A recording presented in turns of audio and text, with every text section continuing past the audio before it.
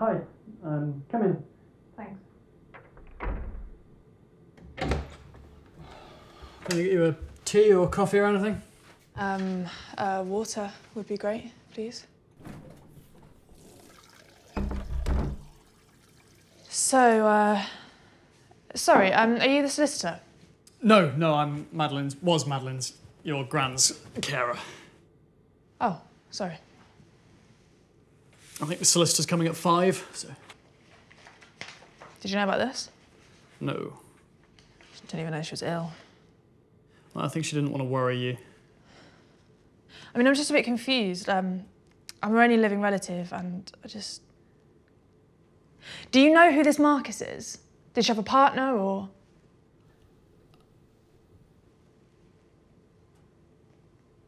Oh,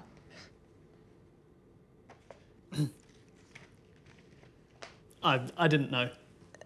Mm, yeah. Obviously, everything else went to you. Yeah, she said it would. And I certainly didn't ask her to. Should have visited her.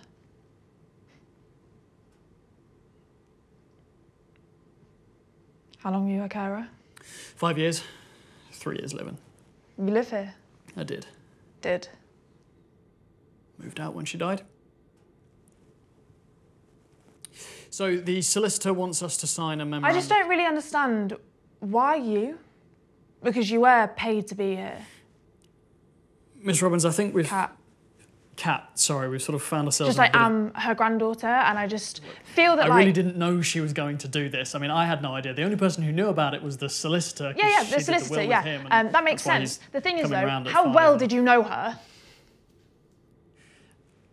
Kat, I, I didn't. Because I didn't even know that she was ill, and then suddenly I was at this funeral, and then I get a phone call out the blue, and I just.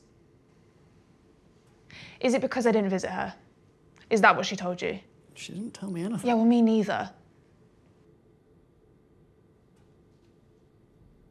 Let me go make a phone call.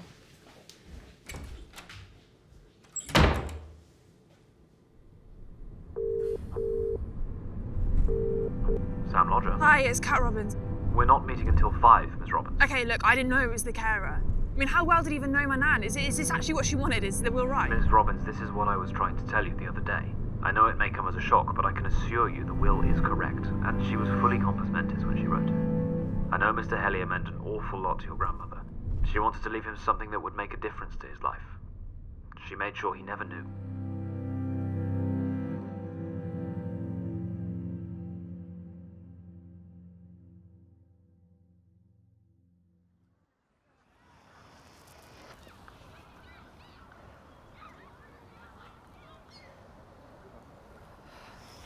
Hope she might be here.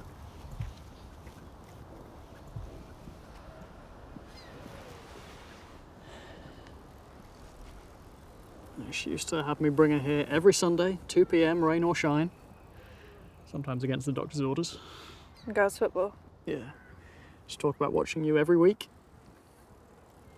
By her say, you should have gone pro. No one else was as good as you.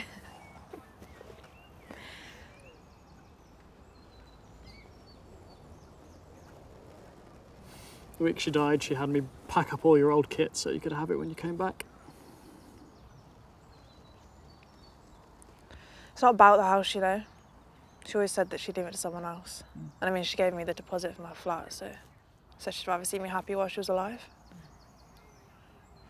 I just feel like if I visited her, then she would have told me. And I feel like she gave it to you because I didn't visit or call or. Because she didn't love me anymore.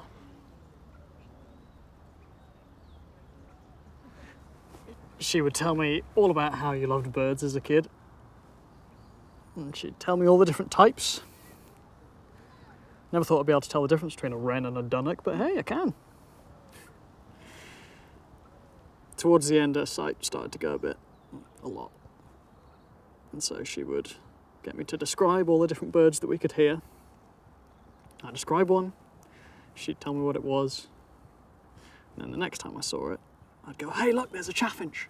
Of course, then she told me off because that wasn't the point. The point was the description. I would describe them so she could work out what they were all on her own. one time I asked why, and she said because she wanted something to talk to her granddaughter, the ornithologist, about. And then, of course, you tell me that you were the real expert on birds. this is a fan that a hundred times already. Why didn't she call me? Why didn't you call me? Don't know.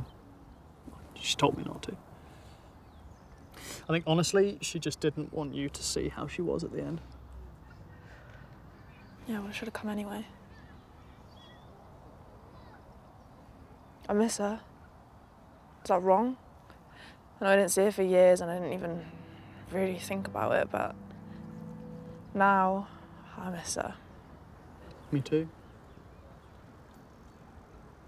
No, she wasn't a patient, she was a friend.